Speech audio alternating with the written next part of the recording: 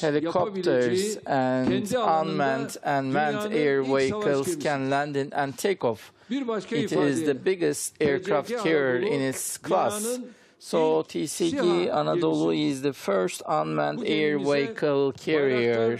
TB-3 Sıha And Bayraktar TCB, SİHA and Kızıl Elma unmanned aircraft and huge jet light assault airplane can landing and take off and with its tank and armed amphibic attack vehicles when necessary this ship can operate all around the world for military and humanitarian operations. It is such features. Yerlilik oranı yaklaşık %70 its indigeneity is yüksek bir seviyede 72%, which is very high.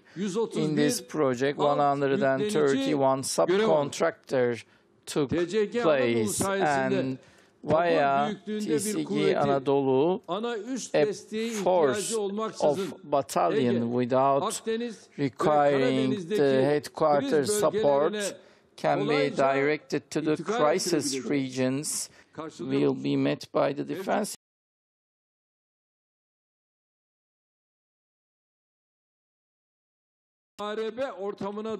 We are also getting prepared for the future war platforms. Our defense of those defense industries.